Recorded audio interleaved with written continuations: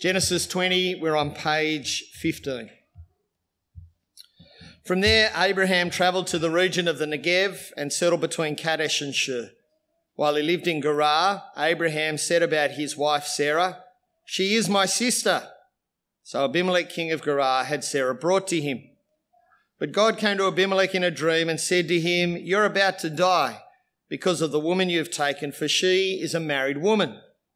Now Abimelech had not approached her, so he said, Lord, would you destroy a nation even though it is innocent?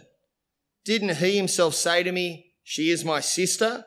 And she herself said, He is my brother. I did this with a clear conscience and clean hands. Then God said to him in the dream, Yes, I know that you did this with a clear conscience. I've also kept you from sinning against me. Therefore, I've not let you touch her. Now return the man's wife, for he is a prophet, and he'll pray for you, and you will live. But if you do not return her, know that you will certainly die, you and all who are yours. Early in the morning, Abimelech got up, called all his servants together, and personally told them all these things. And the men were terrified. Then Abimelech called Abraham in and said to him, What have you done to us? How did I sin against you that you've brought such enormous guilt on me and on my kingdom? You've done things to me that should never be done. Abimelech also said to Abraham, What did you intend when you did this thing? Abraham replied, I thought, there's absolutely no fear of God in this place. They'll kill me because of my wife. Besides, she really is my sister, the daughter of my father, though not the daughter of my mother, and she became my wife. So when God had me wander from my father's house, I said to her, Show your loyalty to me wherever we go and say about me, He's my brother. And Abimelech took sheep and cattle and male and female slaves, gave them to Abraham, and returned his wife Sarah to him. Abimelech said, Look, my land is before you. Settle wherever you want. And to Sarah he said, Look, I'm giving your brother 1,000 pieces of silver. It is a verification of your honour to all who are with you. You are fully vindicated. Then Abraham prayed to God, and God healed Abimelech, his wife, his female slaves, so that they could bear children. For the Lord had completely closed all the wombs in Abimelech's household on account of Sarah, Abraham's wife. This is the word of the Lord. Thanks be to God. Well, Abraham's been waiting a long time. If you count the years, it's been 25 years since God spoke to him and he obeyed. In that time, he's been waiting for land and heir and blessing. He's travelled throughout the land promised by God. He's spent time with God, being reassured by God. He's experienced the deliverance of God. He's made a covenant with God. He's been declared right with God because of God's mercy. But for a bloke like me who struggles to get to lunchtime, 25 years waiting, and the promises are still there and things have been moving slowly. Waiting can be hard, can't it? I don't know about you, but one of the things that struck me as I've been reading accounts of preparation for the Tokyo Olympics is gee, these people have been waiting. These athletes who've devoted so much time. And the problem with waiting, and the problem with waiting, and the problem with waiting is that waiting can wear you down, can't it? Uh, you might have tangible reassurances. You might have experiences that encourage you, but the waiting can make you wilt under the pressure. It can cause doubts. It can reveal problems. It can cause everyday life to wear thin. And at points, you might take matters into your own hands because God doesn't seem to be doing anything about it, does He? I think Abraham is in that kind of situation. He's been waiting a very long time 25 years. And today we see that the waiting took its toll, he wilted, and took matters into his own hands. Let me pray. Father, thank you for gathering us together today. I thank you for the opportunity to open your word and to travel back in history to the time of Abraham to see your utter consistency, your complete faithfulness, and to be reminded of our nature, even as your people, as we struggle to wait for your promises. Father, please work on us by your word so that we are a people who are able to wait because you always do what you say. In Jesus' name, amen. Well, I'm at point two on the outline. Look there at verse one. From there, Abraham traveled to the region of the Negev and settled between Kadesh and Shur uh, while he lived in Gerar. Uh, we need to always place ourselves geographically when we return to a book, don't we? That was one of the helpful things about Mary's talk then. We need to place where we are in terms of lie of the land and the Bible. Uh, if you look at this map here, you'll see uh, where Abraham was. Uh, if you return to Genesis chapter 18, verse 1, he was camped under some oak trees at a place called Mamre. And that was a pretty significant time for him, wasn't it? If you remember back to Genesis chapter 18. Uh, one day, God came for dinner. Can you imagine that? Having God sit at your dinner table? On that very same day, God reassured him that he would come back in 12 months' time and Abraham and Sarah would have a son and he would fulfill his promise. And they were able to negotiate, weren't they, Abraham and God? As they looked down out of Sodom and Gomorrah and Abraham interceded on behalf of the possibility of some righteous people being there in Sodom and Gomorrah. Abraham appealed to God's sense of justice and mercy and interceded on behalf of those people. That was a memorable time under the oak trees there at Mamre. Or for whatever reason, uh, they packed up their tents and they moved down to the Negev. Uh, you'll see it down there on the bottom corner. Uh, it's that desert region between Egypt and what's modern day Israel. They wandered around there for a while and then they moved up and camped and settled in Gerar. That's the geography of the land. There's also a geography of the Bible. That's that clothesline that we saw earlier on. Next slide, please, Seth. In Genesis chapters 1 and 2, we saw the creation of the world by God. See, right back there at the beginning, God spoke and his people were created, Adam and Eve, and they dwelt with God in God's place under God's word. In Genesis 3, that's the next pillar, the, the kind of slightly darker green one. Sin enters the world. Adam and Eve decide to call God's bluff. Hey, you're not going to do what you really say, God. We don't trust your word. And so they act as if they're God. Now remember, that's the essence of sin, that I'm God and God's not. It's the attitude and action that says that. And funnily enough, God shows that his word is true. He did exactly as he said. He judged them. Sin entered the world, and close behind came death, the judgment of God separation from God. And as the fall happened in Genesis 4 to 11, we saw the spread of sin throughout the world and the consistency of God's word in judging humans and saving humans. So by the time we come to Genesis chapter 12, and that's that blue column there, we see that God intervenes in this broken world through a particular man and his family. A man called Abram who becomes Abraham. Through his family, God's going to roll back the brokenness of the world and bring his approval. And if you cast your minds back, you'll remember how much there was to recommend Abram for the job. A 75 year old idol worshipping man with no children. Nothing to recommend the man, is there? At all. Except that God stepped in. God stepped in and made a promise that through this man with no family at this age, God was going to roll back sin and bring blessing. God was going to bring his people to live with him again under the rule of his word. God made that promise 25 years ago. And Abraham and Sarah have been waiting.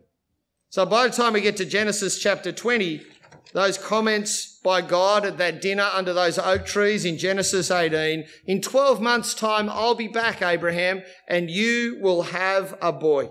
In, in many ways, uh, many people say that at this point, uh, Abraham is showing every sign of growing as one of the pillars of the faith, isn't he?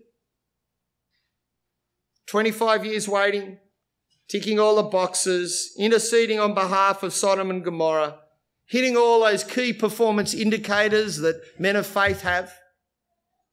And then we read Genesis 20, verses 1 and 2.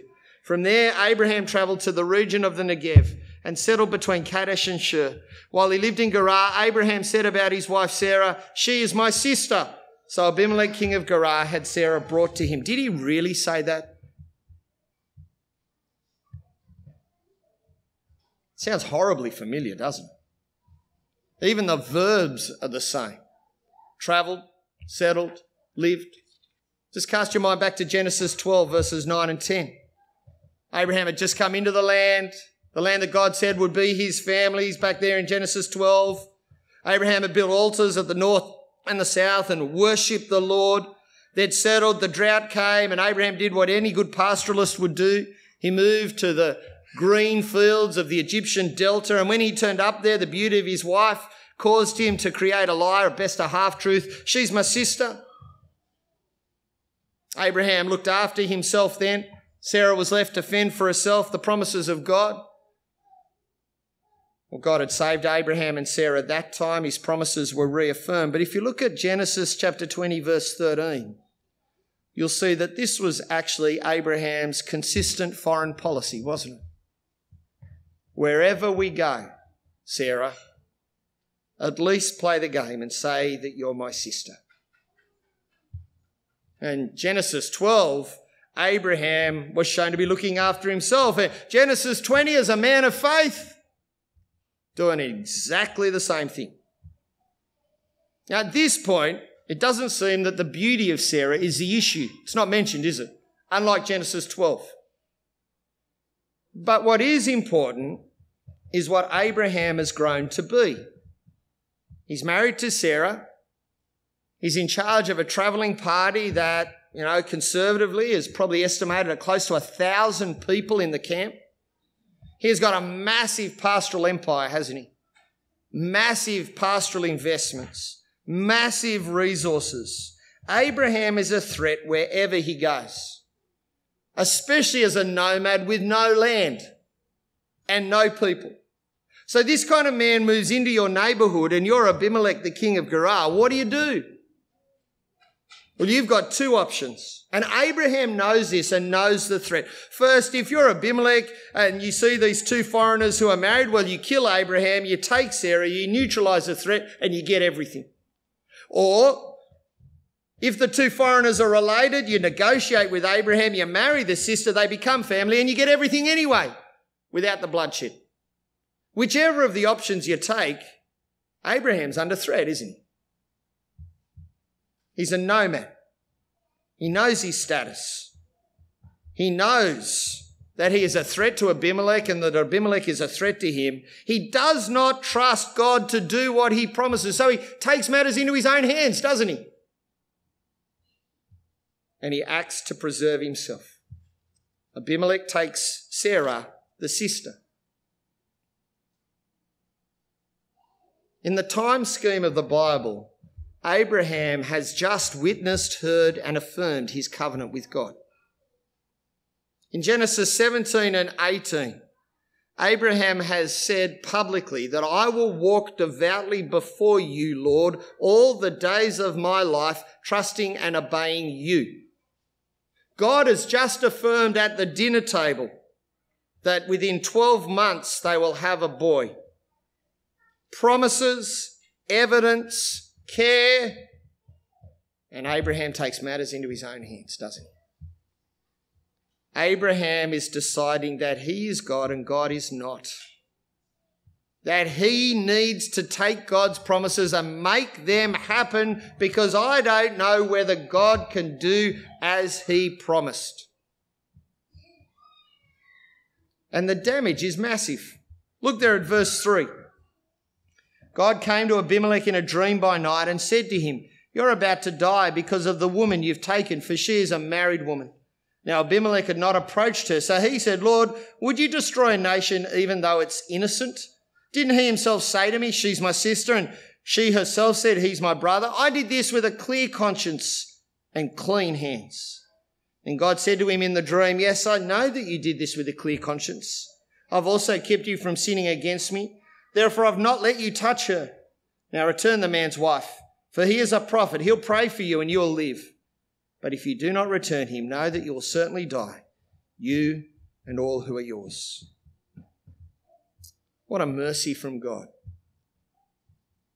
Abimelech is not even part of Abraham's clan. Uh, he literally sits outside the family of God. What does God do? He still intervenes, doesn't he? Oh, we don't know the nature of the dream or the visitation, but it certainly communicated the truth, didn't it? And Abimelech responds appropriately and does so based on this crucial fact I'm innocent. I acted on the facts in front of me. I have not slept with her. Now, if you pause and think at this moment, you can see how foolish Abraham has been. Abraham, you'll have a son within 12 months. Abimelech sleeps with Sarah. Whose son is it? No DNA testing. No family trees that you can whip up immediately with computers and biology. Whose son is it? And what happens to the promises of God? You see the foolishness of Abraham? And Abimelech's been far more honourable than Abraham, hasn't he?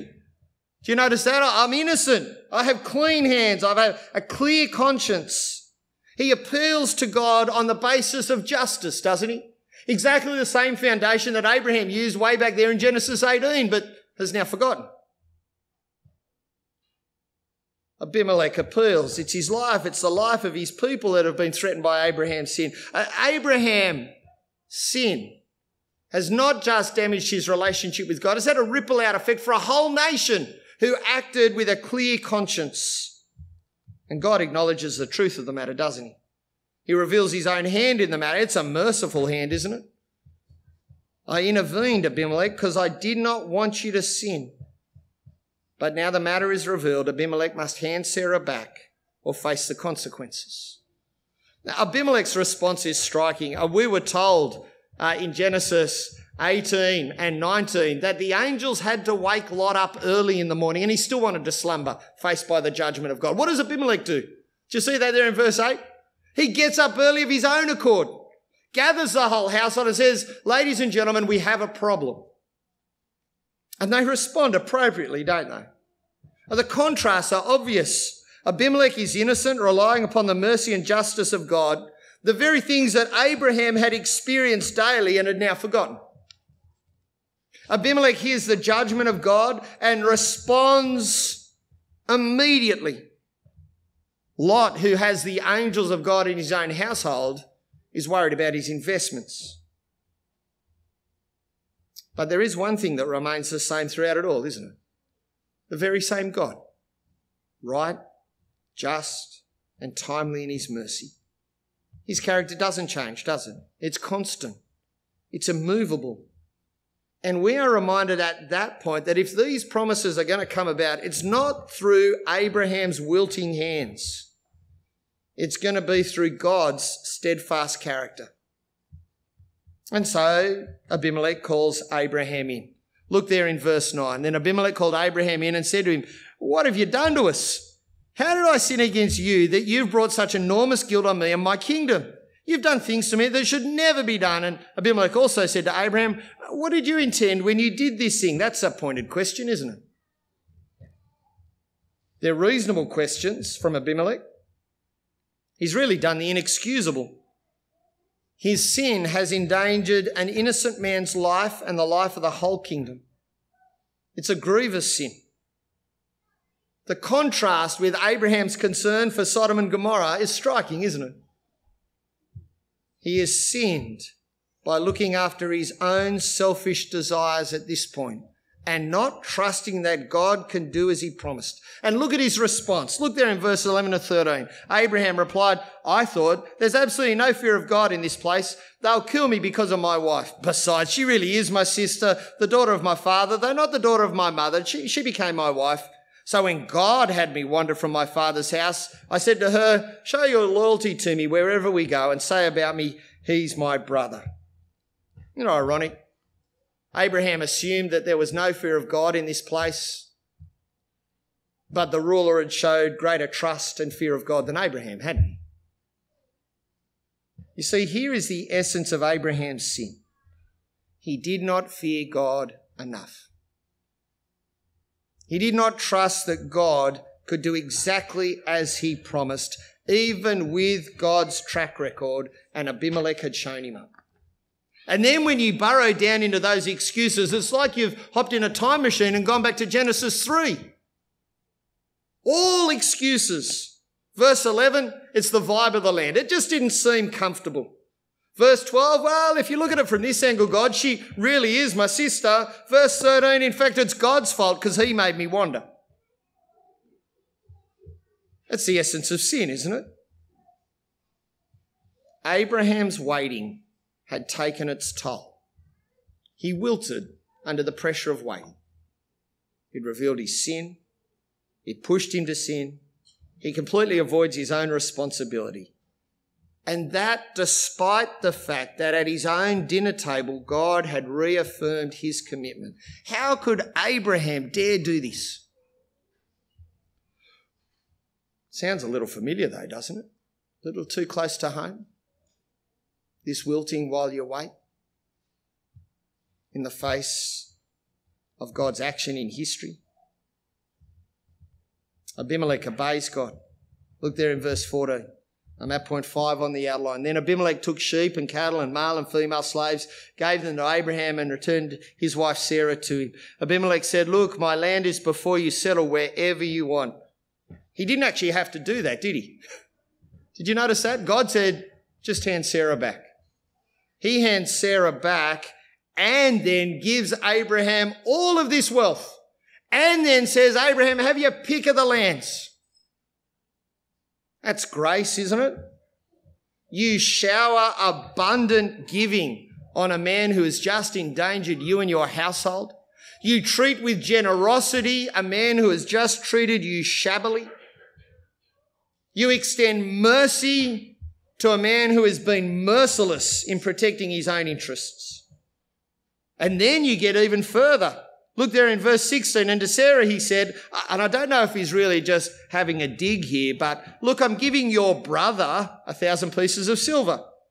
It's a verification of your honour to all who are with you. You are fully vindicated. Again, it's grace, isn't it? He did not have to do this, but he wants to make a public statement that this woman has been untouched. The promises of God are protected. He pays an enormous amount of money at his own expense in order to vindicate Sarah. So that when the paternity question comes up, it's definitely Abraham who's the father. And then you get to the last two verses, 17 and 18. Then Abraham prayed to God, and God healed Abimelech, his wife, his female slaves, so that they could bear children, for the Lord had completely closed all the wombs in Abimelech's household on account of Sarah. Abraham intervenes with God for Abimelech. God listens. God heals and pardons the whole household. And let me tell you, it's not because of Abraham's character, is it? Isn't that grace? undeserved mercy that God would use the intercession of a man like Abraham in order to deal graciously with Abimelech? Isn't that grace? That God would use Abraham to intervene on behalf of another. You see, it's not Abraham's good character, is it? That answers this prayer. It's God's good character, God's mercy, God's intervention, and God's kindness. We're waiting too, aren't we? I'm at point six on the outline. I hope you listened to those readings that Ros brought us from Romans 8 and 2 Peter 3. They're both about waiting, weren't they? We're waiting with eager expectation for a promise to be fulfilled that one day we will dwell face to face with God. We're waiting for God to send his son Jesus back to judge and redeem and restore the whole universe. Even as scoffers say, well, you can't trust a word God says. We're in the same boat as Abraham, aren't we? Waiting, waiting, waiting.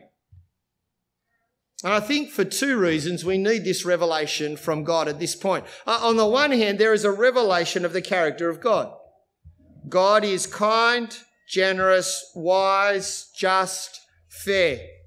God intervenes for the good of people, even those who don't know Him. God is patient and gentle. God judges sin and shows mercy to the sinner. God is unbelievably single minded in keeping his promise.